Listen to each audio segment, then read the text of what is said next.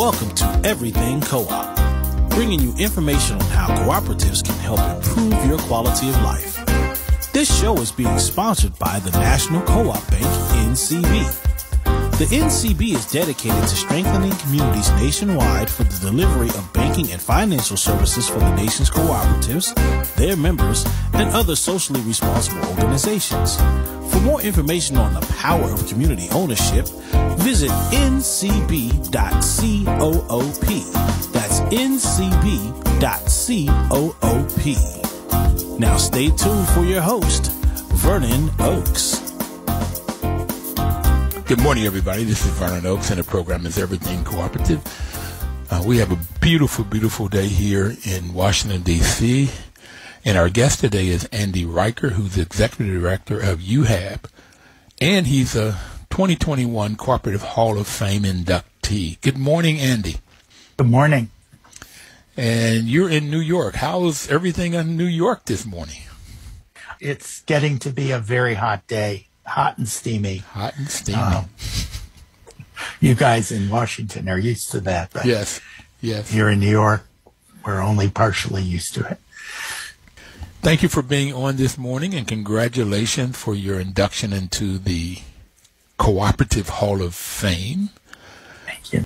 I've been for maybe the last 10 years on the selection committee and I was so pleased to see your name brought forth and so pleased to see that you were inducted in. The selection committee was like really looking at your career, and it was a easy sort of decision to induct you into the Hall of Fame with all you've done. So this morning, I would like to talk about some of the things you've accomplished in your career. It, it says that your whole career you've been doing this work of improving people's lives, getting them to go out of poverty through Stable and affordable housing. What does that mean and what is that about? Well, I think something that we've learned over the years that it's really hard for people to sort of advance in their lives to, you know, get up and out of the conditions that they're in if they don't have a stable place to live. So, so it is one of the foundational parts of, of, you know, improving people's lives. So, um, it's been important. And that's one of the gratifying things about working in housing. It, it really does have a very impactful and, and visibly impactful change in people's lives when they have stable, affordable, decent housing and then can get on with the other things in their lives. That fact has been considered one of the determinants of good health or poor health.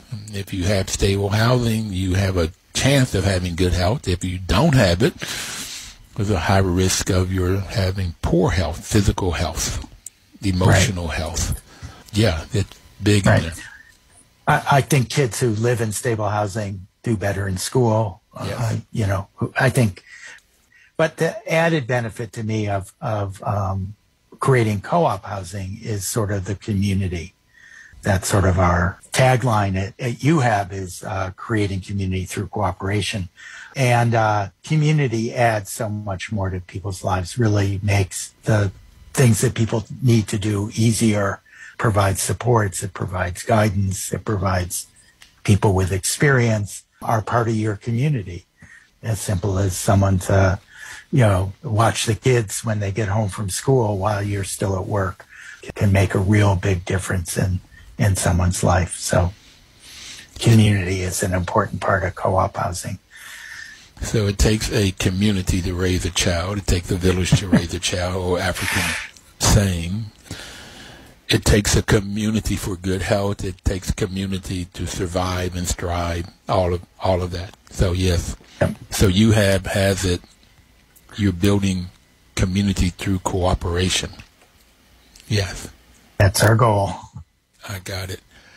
I heard Keith Ellis, uh, Congressman Keith Ellis, um, Minnesota or Wisconsin at the time, he said that a house is to a family what a bowl is to baking a cake.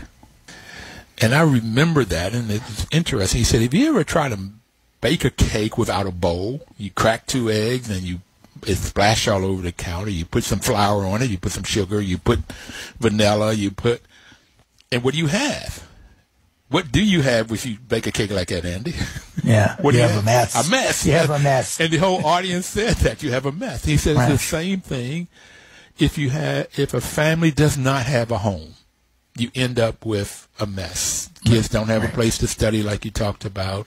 There's no place to share things. There's no safety net, and uh, kids don't have a place to come to after school. I don't- On and on and on and on, and you end up with a mess. So yeah, what you've been doing in New York for 40 plus years is making sure there's no mess or less of a mess, if you will. And I thank you for that. And you are one of my heroes. I really Well, appreciate thank you. because I learned about co-ops through managing affordable housing co-ops in here in D.C. and fell in love with this model because I saw everyday people, sometimes at best a high school education, make really informed decisions. They didn't need an MBA or a college degree. They learned. The study groups of, of co-ops is constantly training, constantly learning, and they learn how to make informed collective decisions. And they really, really work when they work. So yes, and you've been doing it in New York. About how many buildings have you and you have done over the years? We've worked with with about 1,500 buildings, which make up about 1,300 co-ops. There's about 30,000 households, families that live in these live in these buildings. They're spread throughout the city, but uh, primarily where the city had abandoned buildings in the in the earlier days in the 60s, 70s, 80s, 90s, where abandonment was rampant. That's where most of our housing is. In a recent show that was done from our archives, the uh, researchers actually imposed our map of our buildings over the redlining maps of uh, New York City from the 30s and 40s, and it's you know as, as should have been expected, but still surprising. They line up really well, and which tells you a lot about the neighborhoods in which this housing is, and and and then the opportunities to really rebuild these neighborhoods, you know, bring them back and take control. I mean, the nice thing about a co-op is you not only are living there, but you control it. And so as it improves, you don't get displaced. Um, you get to take advantage of the improvements and, and have a voice in, in how the neighborhood changes. So that's important.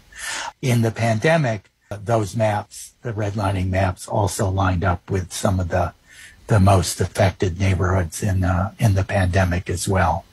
So uh, you know, history history is still playing out in in New York City's neighborhoods, and I'm sure it's true all over the country. So let me make sure I got it right. You've got you take a map and you look at redlining, and redlining was uh, banks do not loan money to these folks in this district, and this redlining, and those districts were mostly black and brown people. Right. Okay, Right. so it was it was discrimination in this area. Was there any And- other definition of redlining? What did redlining mean? Well, redlining were said these are are you know it was a sort of a more general warning. These are bad neighborhoods. Don't invest. So insurance was difficult, borrowing, lending was difficult. Also, it was where uh, you know families were steered to, and it, according to those redlining. So Black but then- families, black and brown families were steered to these groups. These to the to the neighborhoods yeah and so then when abandonment started it, it, it was in those neighborhoods where landlords were abandoning the, the housing that's where those were the low income neighborhoods so when the city took title to abandoned buildings those became sort of the resources the available buildings that UHAB and our founders actually at you have saw these abandoned city-owned buildings that were available um, as a as an opportunity to build, you know, for people to build their own housing, to own their own housing, to take control and and control their own housing, and that the folks who were in those neighborhoods and were trying to stay in those neighborhoods were the other part of the formula. That as you know, you observed er- a little earlier, families who've lived through these really difficult conditions have seen landlords practicing bad management uh, have had you know a negative lesson but but have had a lesson and know a lot about what housing and how it's run and how it can go bad, but also how it could be good. And actually, when they come together, can really run a co-op really well and really understand what goes into making a, a building, you know, a home, a, a good place to live. And so it's worked well. And, you know, although we get, you know, credit or, you know, people like to say, and we like to say, uh, you know, how many units, how many buildings, there are, you know, 1,300 boards of directors out there. They may have six, eight, ten people. There are thousands and thousands of, of you know, co-op leaders and then the regular residents who, who pitch in, who do their part, who pay their monthly charges, who, you know, come out for the meetings or go to the, you know, uh, cleanup days or, you know, go to work on the, when a new roof needs to go on or something, you know, sometimes buildings do it. And that, that's UHAB's early history was self-help, was helping groups of people take over vacant, abandoned buildings and fix them up with their own sweat equity. My predecessors in this job uh, claim to have invented the word sweat equity, and and I, I think it might be true. You know, you said a lot, and we're going to take our first break here. And just really quickly, is redlining I got is where we ended up with the ghetto. And as buildings deteriorated because there were slum landlords, they abandoned these buildings. There was a lot of problems in these neighborhoods. And you said when COVID hit, you could also see it that COVID hit hardest in these buildings because they blacks and browns had pre-existing conditions and they had to work in areas they could not stop working. So we'll be right back. We're going to talk more to Andy Reicher about his 40 plus years of helping create stable housing and communities. We'll be right back. Please don't touch that dial.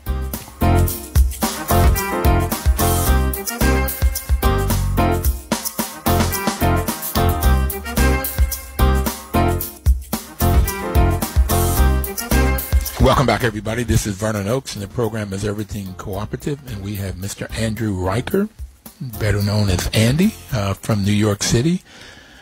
And as he said it to us in the first segment, they have about 1,500 uh, properties, 1,300 of them are co-ops, about 30,000 households in these co-op buildings, have 30,000 board of directors in these co-op buildings, and a bunch of family members, family households. And Andy, when I have it, because I learned about co-ops because I managed co-ops here in DC and affordable housing co-ops and fell in love with them because everyday people made decisions and extremely good decisions. These board of directors and what it took for to start a a good co-op was an engaged membership. Those people that live in that co-op, those thirty thousand households, the more successful the building community is depends on how engaged the members are, how much training they're taking, whether they come out and do the cleanup days that you talked about, whether they come to the annual meetings. In some co-ops, they they allow members to come to every board meeting, and the more members came to those board meetings, holding the the board uh, responsible and accountable, and then the board holding management, whomever is managing accountable, those work best, and those were the most successful ones. And you talked about in redlining through history, they didn't uh, buildings and, and people that own housing and redlining didn't get insurance, they didn't get mortgages, they couldn't borrow. We called them the ghetto, and it was often that they got bad press and whenever Harlem started changing and gentrification came in, or U Street, 14th and U in D.C., this gentrification came, the price of housing shot up, and then black folks had to move out because they could not afford the taxes and then the insurance and the other things that go along and then fixing up, so they end up moving out. So, what has been your experience with, particularly in the last 20 years, these buildings as the price of insurance, property taxes have gone up. How have these communities survived or stayed alive? Well, one is that that these buildings are owned and managed by the people who live there, so they aren't being pushed out. So then the issues that you raise are important ones. Insurance is an important cost, and it's one of the things we recognized early on. So we actually have a group insurance policy for about half of our buildings. And so we're able to, uh, particularly in the neighborhoods that generally would see high insurance rates, to be able to moderate those rates, um, provide quality insurance at, at very competitive uh, prices. So that's one thing that we've worked well, on. Make sure I understand this. You have have you have you have your own insurance pool, or you work with an insurance carrier? We have our own insurance pool. At one point, we actually did create an insurance company, co-op insurance company, one of the first ones to be done since probably the 1880s in New York State. Uh, but we were unable to actually sort of go into the market because we did it just as in 2008, just as the economy, um, sort of the recession hit. Mm-hmm. And so we, we actually, um, did, we put it out of business because we couldn't compete at that moment. But we've kept our group insurance program for maybe three decades. And that's been one thing. Taxes are another thing that the city of New York is very, uh, has a very enlightened policy, which is it provides partial or full tax abatement on affordable housing. Uh, so when we help create these co-ops, one of the things they get as part of their ongoing affordability is affordable taxes. And it, it lasts for 40 years. And hopefully we're, we're in the point where we need to start seeing the renewal of that 40 year um, abatement for many of our co-ops. And hopefully that will, will be successful. And you're right. Uh, taxes alone in some of the gentrifying neighborhoods would really make it unaffordable. So it's an important consideration to keep it. And, and then it's the co-op's obligation to keep it affordable generation to generation. So you said that the city of New York, uh, they have helped us with this 40 year. I want to give a shout out to Anita Bonds, who's a council member here in the district, and she created a limited equity task force, which you were so kind enough to come down and share your wisdom and knowledge and experience to. And I was on that task force as the property manager member of the task force. And one of our recommendations is pretty much the first one. Because before, when here in the district, if you became a limited equity co-op, you only had five years of abatement, not 40. And we have asked in our recommendations is that that would be a life, as long as they're a limited equity co-ops, and they don't have to pay property taxes because it what we have shown really clearly is as property taxes go up, you've really got to increase your carrying charges, and more often than not, the members there, because affordable and aging in place, they have a fixed income, and they cannot keep doing this, and so you'll just drive them out of housing just because of property tax, nothing else. Right, and I think it's a, a, a good financial deal for the city because the abated property taxes are far less expensive than creating another affordable unit or recreating all those affordable units that would become unaffordable. So it's a good for the city. So you have 1,300 limited equity co-ops? Correct. So in the city, when we did this, we only had 99. Okay, we had, well, let's say 100. You have 1,300 limited equity co-ops. And we would, we had talked about how we can get more here but, but uh, let, us talk about why limited equity co-ops. What are the benefits of that you found for co-ops, and particularly for limited equity housing co-ops? Well, uh, I mean, it sort of goes along with with UHAB's philosophy, which is which is you know the the folks who live in a neighborhood, it's their neighborhood. It's where their lives are. It's where they were born. They go to school. They get married. They have their jobs. Very often, they have a, a, a real interest and will participate given the opportunity in rebuilding, you know, knitting up the, the torn fabric of that neighborhood. I don't think we ever considered the, the neighborhoods as sort of wastelands that should be bulldozed as they did in urban renewal days. These were places, these where people's lives were. And given the opportunity, given the resources, they would rebuild them. And the way that that works best is when they own it, they control it, they make decisions, you know, about how it's going to be. They have a vision of what they're building and, and they work towards that. And that's, that becomes the co-op. And so that's, you know, why we do co-ops. You know, when you study them, you'll find less crimes and less drugs in those co-ops and in the, and then in the surrounding neighborhoods. Uh, people are more satisfied with their housing. When they own it and control it, they over time become less expensive to operate than, than other housing. And it just, in almost every measure, it just works. And then there's all the other benefits of the community of working together, of having a support group right there with you, of, you know, I, I also, over the years, was involved in community gardening through a group called the Green Guerillas. And, you know, so you go to the same neighborhood and you go out into this vacant rubble strewn lot and who do you see? Well, it was the same people who two weeks earlier were sitting in one of our co-op training classes. That people who get involved sort of get involved, you know, and so they, they are fixing up their neighborhood. We also know that folks in co-ops, at least in New York, vote more than other people in their neighborhoods. And so that they, they participate. So you're getting to me the co-op principles, and the first one is that if it's operating as a co-op and don't just have it in their name, that co-ops are open for everybody. It doesn't make any difference about gender, education, religion, politics. It, it just doesn't make any difference. Race, nah doesn't make any. It's open for anybody who wants to be involved. And then the second principle is democratic control: one member, one vote. And I have it because that's in the fabric and the DNA of a co-op. Then you find out that co-op members will go out and vote in the general elections, okay? Because they learn of the importance of voting in the in the co-op, and so that you get this higher voting.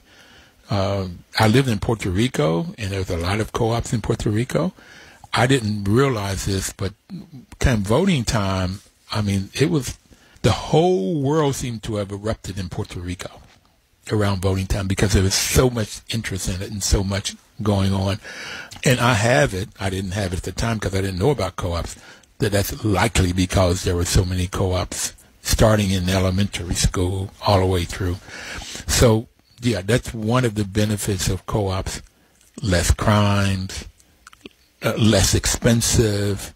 They own it, they control it, they make the decisions and visions. Why aren't there more throughout the U.S.? Like you guys have been doing it in New York, but there are a lot of co-ops in New York. They do make up a significant section, but across the nation, as I heard from my co-op elders when I first started, in this world, going to NAHC meetings and uh, National Co-op Association meetings and things, that co-ops are the best kept secret. It just is hard to uh, get the word out there because there's so much countervailing forces that want to do rental housing or own your own home, own your own single family home. Um, although there are single family co-ops community. So, so that is possible. I just think it's, it's out of the, the mainstream, although people are, are aware of co-ops and they're part of co-ops. They're part of their credit unions, rural electric co-ops, uh, agriculture co-ops have 100 million or more members. So there's lots of Americans who know about co-ops. So I had the same conversation with, at the National Association of Housing Co-ops NAHC from the elders, Herb Fisher and Roger Wilcox. they sat me down and they taught me about co-ops and the benefits, and they call it the best kept secret. This radio show came out of those conversations to try to get people to understand more, the everyday person to understand more about co-ops and the work that you have been doing and other people like you. And Roger was very involved in the 50s, 60s, and 70s in creating co-ops.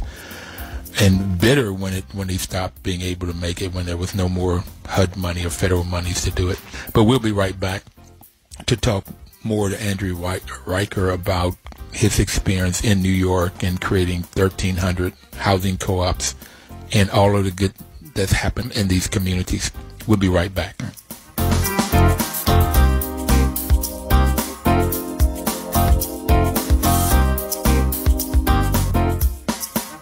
Welcome back, everybody. This is Vernon Oakes, and the program is Everything Co-op. We have Mr. Andy Reicher on with us this morning from New York. Andy, I have it that there are four different types of co-ops, and you mentioned a few of them, and that depends on who owns and controls the business. If it's owned and controlled by the employees, it's called a worker co-op. If it's owned and controlled by the people that uses the products or services, it's a, a consumer co-op, and housing co-ops are owned and controlled by the people that uses the housing. It's a consumer co-op, credit unions, food co-ops, health clinics. You mentioned the rural electric co-ops, the consumer co-ops, and then if it's um, come together to buy things that they need, it's called a purchasing co-op. And if a group of people or or businesses come together to market their products, that's it's called a marketing pro, uh, co-op. And farmers have created Cabot Creamery, Land O'Lakes, Ocean Spray as some examples of marketing co-ops. And sometimes these are called producer co-ops because they produce and they add value. They take the milk and they they make other things out of it like cheese and yogurt and so forth. So these are the four types of co-ops, and as you said, there are just millions of people that belong to co-ops, but too often, if they're a consumer co-op, a credit union, or rural electric, they don't even know they're in a co-op. And that was my experience before I started managing housing co-ops. I might be a, I was a member of a credit union. I did not know it was a co-op. So that's always been curious to me of why it's the best kept secret. You mentioned that. And that's what I was told by those seniors. Best kept secret. But why is it a best kept secret? I don't know. I mean, I think I'm as, as, as confused by that as, as you are, but you know, it has been a best kept secret, but in recent years, in current generation, in the current economy, I think people are learning that it's different. And I think some of these businesses, you know, or, or co-ops are learning how important it is to educate. I was really pleased a number of years ago after being a member of REI, Recreational Equipment, uh, a six million member co-op, that they finally started talking about co-ops. They actually now have a co-op brand within their within their their things. But it took you know, decades of my membership and it started way before me, before they started doing it. But it's the time. Co-ops have a resurgence. People are interested in co-ops. So I think now is the time that the food co-ops and the rural electrics can speak up. The credit unions can talk about we're a co-op and this is what we believe in because you know the aspirations in the past about the economy i'm going to i'm going to do well i'm going to get you know, my home. I'm going to build my wealth. it's all going to be fine. Well, there's alternative routes through that economy and co-ops are one of them. And for many people, many, many people, uh, the economy hasn't worked for them.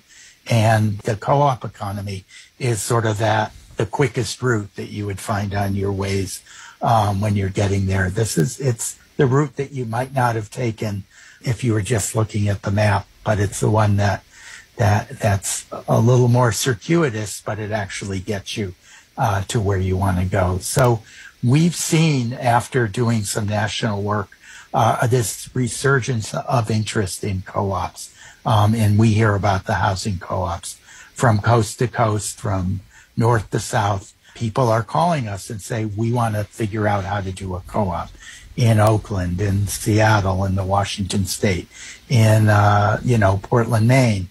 Um, we're working with uh, some groups to do a co-op there. The city is an important part of it. And, you know, in the midst of all of that doing, a credit union shows up and said, we want to be part of this. You know, it wasn't like you had to reach out to them. They said, these are our folks. This is our issue. Uh, we want to be part of this. So, so um, we're seeing that happen and seeing that there is this renewed interest and, uh, in, in co-ops. And so I'm hoping that we can see it through to completion where we'll have active co-op practitioners who are helping start new co-ops in all these locations. And co-ops are getting together different kinds of co-ops and working with each other to to build the co-op model as a way to solve and and get people engaged and successful in in this economy so this is a question that I've been toying with for the last mm, 20 years. Why aren't there more co-ops? And it came about with is the best kept secret. And Roger Wilcox, who has since passed on, I think he was 97 when he died uh, several years ago, and uh, Herb Fisher, who's in his 90s now, um, they kept telling me that. And so I, I kept looking, why? Why? Particularly when it's so good. All the benefits you talked about. And there was a study, I don't know if you saw it, where it compared HUD funded apartment buildings, affordable housing, with HUD funded co ops. And the co ops outperformed the apartment buildings in every aspect, except for one. The rich people didn't make money. okay. So if you were rich and you wanted to uh, have an apartment building, you did not have that opportunity within the co-op. Because if there was anything to be earned, then that was earned by the membership. But every variable, and you mentioned all, you mentioned a bunch of those. Over time, uh, less carrying charge, less crime, better social community, the people learned how to vote. The people learned how to work with their police. They learned how to work with their city council. Some of the members in the co-op became on the board. They came out, ran for the city council, ran for the board of education. Every every angle, people save more money. If, so why aren't there more? I kept asking that question. Why aren't there more co-ops? Why don't people know about them? Why aren't there more co-ops? And I came up with there's this. You already mentioned it I call it the giant John Wayne thing is pick yourself up by your own bootstraps. And I go, how do you do that when you have no boots? Okay. And too many people in those red line ghettos did not own their boots, so they couldn't pick themselves up. And as we've seen with different communities like Tulsa, if you got ahead, too often you were torn down. And then, uh, through Citizen United, I got two, two answers. Citizen United says that the rich people can buy politicians and then politicians get in. They are for the people, but for the rich people. They make policies that help the rich. Okay, and that's for all of the, the HUD money goes to help the rich to have the affordable housing, to have the apartment buildings so they can make more and more money and not for every day. And that, that to me was the answer. I was told it on, on air one time that I was cynical. But I also heard in one of the meetings that the folks like the credit unions during the McCarthy days did not want to say they were a co-op because they were considered socialist or communist organization. So they had to put a muzzle on really saying because it's not that. There's no way that it's a communist organization. So now it's okay to say we are a co-op, and I'm hoping, like you said, with REI and with credit unions and maybe with the rural electrics, they can come out and really brand this co-op world. That's what I'm hopeful. What do you think about all of that? I think that's true. I mean, uh, it's true there aren't more co-ops. In fact, there are less, at least limited equity co-ops, which we found in the in the heyday of the HUD programs. Over 300,000 units got built. Half of them have paid off their mortgages and no longer are restricted. But um, you know, I just think it's a matter of, of you know, putting some successful examples on the ground of, of folks like you in this program and elsewhere, really showing those examples as, as being successful, of really um, talking about them being permanent solutions, that a co-op, once it's built, as long as it's running well, passes from generation to generation providing some return on equity, some wealth, but also passing on the affordability to the next generation. That doesn't happen with uh, with you know uh, developer built rental housing. It serves one generation, and there's no guarantee it will still be affordable 20 years from now. So that's important. You know, most of the federal programs were focused on making the private sector work better. They weren't about building public housing or or subsidizing something. They were ta- talking about the private sector, construction industry, the developers. So that's where the focus was. Uh, hopefully, we can change the focus in this administration, in this economy, where so many people feel it's not working for them. Well, here's a way where it can work for you. And hopefully, we'll get some real examples on the ground. We'll get some programs that are really working. And maybe our elected officials will realize that more than 100 million Americans are members of co-ops. And we need to start talking about that. It's the largest interest group in the United States when you put it all together. And I think we really need to, uh, you know, we need to somehow let the secret out and tell people. But it starts with each co-op educating their own members. Yes. I have it about 130 million Americans are members of co-ops. There you in go. a University of Wisconsin study they did four or five years ago, it talked about membership being more like 350 memberships in the co-ops, and there's only 330 or so. It's more memberships in co-ops than you, the population of the U.S. But that's because a lot of folks like me, and maybe you, if you're if you're an REI, I, live in a housing co-op. I uh, um, belong to a credit union. I joined the Federation of Southern Co-ops. Uh, I've joined several food co-ops. So I'm a member of probably of seven co-ops, and so on average, though, uh, each individual that's a member of a co-op is is a member of three co-ops. And if you take some of these farm families, they may be a member of seven, eight, nine, ten co-ops. When you look at the, all of the different portions of that, so 100, I have 130 million Americans are co-operators. Too often, if they're in REI, um, a rural electric co-op, a housing co-op, a credit union, they don't even know that all of the benefits and that it is a co-op and the benefits of being a co-op. So yes, getting those entities, those consumer co-ops to brand this cooperative is, I think, one of the critical things we need to do for America so Americans will know about this. What can we do there? How can, how can we get those groups to really push co-ops? I think that, you know, they all do some sort of education but it needs to be out front. You know, they need to fly the co-op flag. They need to have a dot co-op email address they, and website. They need to have the co-op story, you know, right, right on the, the page where people pay their bill, whether it's in print or online. All those things, you know, I just think people need to understand what they are. And then they need to talk about all their other kinds of co-ops, you know, hearing about a housing co-op or a food store co-op when you're seeing your rural electric bill might be of interest. You know, it'd be interesting to hear hearing about an urban co-op or a rural co-op if you live in the opposite place.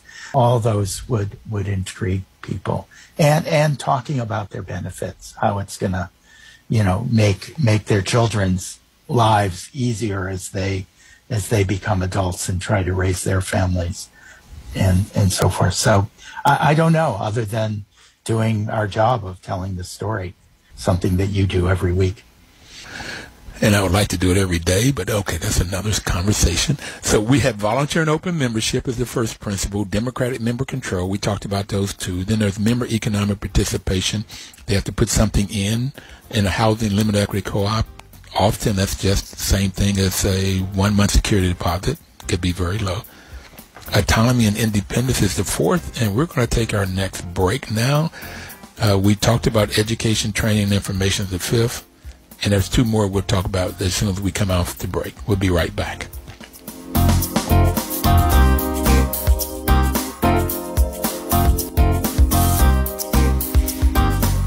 Welcome back. This is Vernon Oakes. Um, you know, the National Co-op Bank has been sponsoring this program Andy, this is almost eight years. October will be eight years.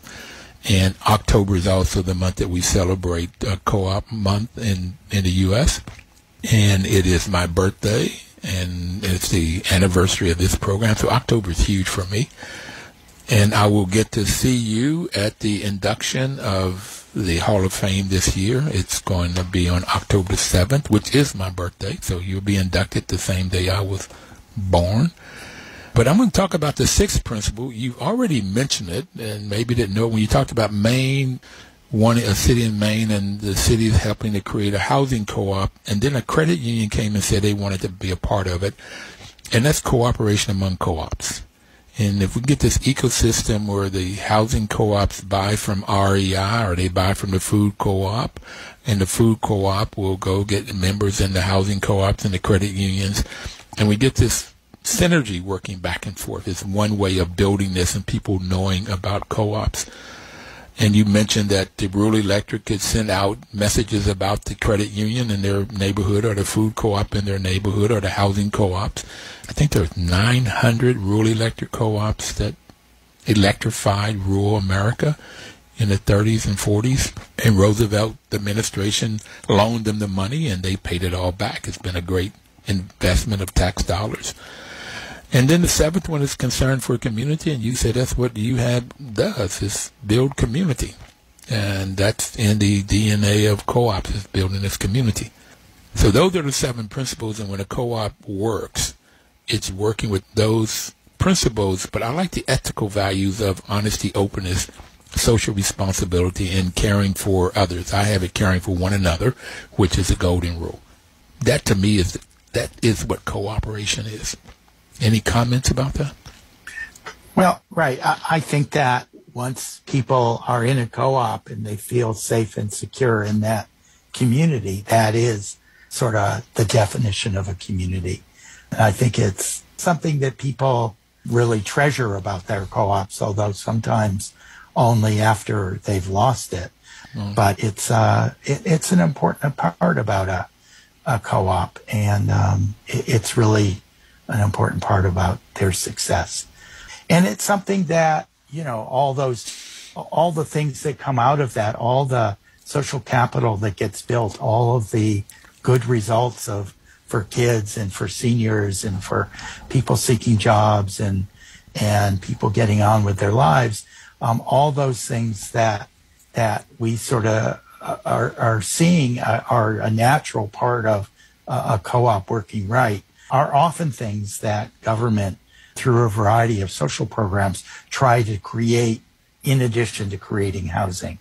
And so it's sort of when you do a co-op, in many ways you get all of it. It's it's more work to develop a co-op. It's more work to manage a co-op. I'm sure, as you know, attending those meetings is they're long and arduous. There are many, many meetings. I always wondered whether in some language cooperative means many meetings. Uh, but, uh, anyways, but, it, but in the end, I think you get far more, uh, for what you invest in a co-op than you do if you try to create the housing and make it affordable and run it well and, and create social programs and create these education programs, create all those other supports you need to create and have programs and so forth. And a co-op somehow embodies them all. That's what makes a co-op so satisfying to work with. It just, it, it sort of ticks so many of the boxes that you want with something that you work on that's successful, um, which makes it such a pleasure to work in this area. So all of those meetings, particularly a lot of times they're night meetings, that, that would be the what would cause the pro- property managers to, to want the ones that worked or the assistant property managers that they would end up leaving. Because it just took a lot of time and effort and virtual has made it better and um, we try to get day meetings for our for our workers for um, people who worked in the property management business. But when you saw the results okay it just made it all worthwhile all of those meetings all of that time getting people to learn how to, there's going to be conflict by definition, and getting people to learn how to resolve those conflicts uh, through conversations and conversations and conversations causes of meetings. That those results are just phenomenal to watch it work when you can sit back and watch it work. So yeah, that's one of the big benefits of co-ops. But when you start limited equity by definition means that you don't make much money. The people that live there, they don't get all of the capital as things go up in value. So, what has been your experience about this limited equity and creating wealth? I just think that it works better. You know, it's a difficult thing because in many ways, being able to, you know, cash in on a on a property that was, you know, something you bought that was not worth much at all when you bought it. And now the neighborhood is is come up. It's improved. It's gentrified. The values are enormous. Why shouldn't you be able to cash in? But no matter how much you get one you only get it generally at the end of your life or when you retire or whatever goes on to your children. Whereas in a limited equity co-op, you get it every day.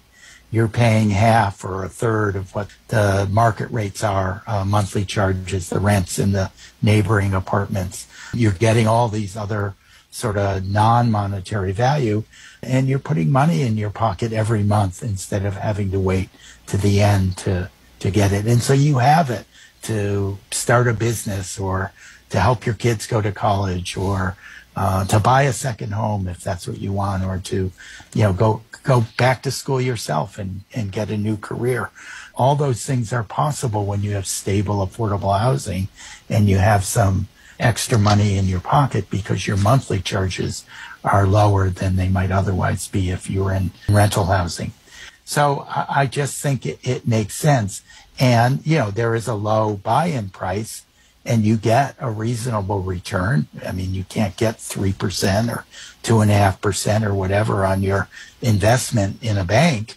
Currently, you'd have to go out in the market. You might be able to do that, but that requires a lot of risk and care. So that you are getting a return. On the other hand, there's another generation, and very often it's our children and our grandchildren who are in that generation. So that, you know, you either can work on the rising prices and speculation and hope that you do well enough that they can afford it, or you try to build a world where things are reasonably priced and people, uh, especially when they're starting out, are able to find something affordable to move into. So that's what I think is important. Well, Andy, when I first heard this term limited equity co-op, being a black American, I thought it was white folks not wanting blacks to get capital. And I didn't like them. Okay. I thought it was you and other people of your complexion just didn't want blacks to, to make it. Was I wrong? Um, I was so wrong. Uh, well, yeah, I mean, but but it is something that that makes me a little uncomfortable talking about it. But on the other hand, it works so well that I mean, maybe that's partly why it's it's a secret. I don't know. Here's what I found out: limited equity co-ops. The people that get there, like you said, there's a low down payment. It's the same as security going into an apartment. And most people that end up in the limited equity co-op cannot go out and buy a house or buy a condo. So their only option is an apartment building or the limited equity co-op. And the limited equity co-op is so much better, and all the things you just talked about, so much better than the apartment. You have community, social wealth. You end up, one study said it's 7.1% return in this property in, in Atlanta as opposed to one and a half to two percent return you talked about on that down payment. But you also you get a lower carrying charge, and in Atlanta it was it was two it was like a forty percent reduction in what they would have to pay for an apartment down the street. But you get this community, and one lady told me that the best return she could ever get was she was able to raise three children there in a safe, secure environment. And that's what was good for her. As opposed to the other option was in an apartment building, perhaps in a bad neighborhood. So this limited equity co-op is superb. It's A plus plus plus in my mind now. And and for people like you that are doing this, I take my hat off to you. And like I said, you're my hero.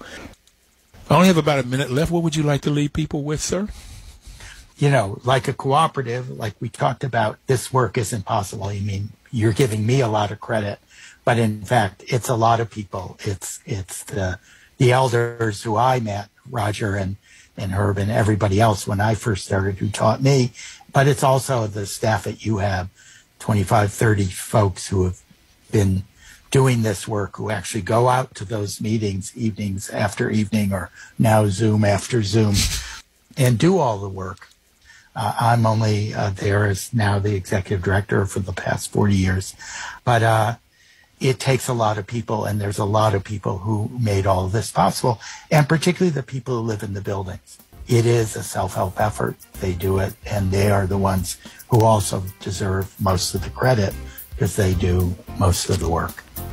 Andy, thank you so much for being on. Thank you for your lifelong work and the numbers of people that you have worked with and supported. Thank you so very much, sir. and, and thank you for telling the secret okay. every week. okay. Everybody out there, we'll see you next Thursday. Please live cooperatively.